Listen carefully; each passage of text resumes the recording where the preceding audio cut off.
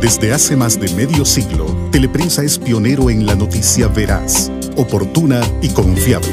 Continúa temblando aquí en el centro de San Salvador. Porque le informa con libertad, bajo los principios de la responsabilidad y la ética, sin prejuicios religiosos, políticos o sociales. Ahí está el primer saludo del Papa en Salvador. Con el objetivo de ganar la credibilidad de los salvadoreños. Teleprensa es experiencia de más de 50 años, mostrando la realidad tal como es, sin cambiarla, para que usted se haga su propio juicio.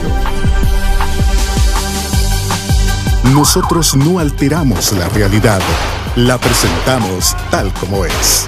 Teleprensa, el primer noticiero del país.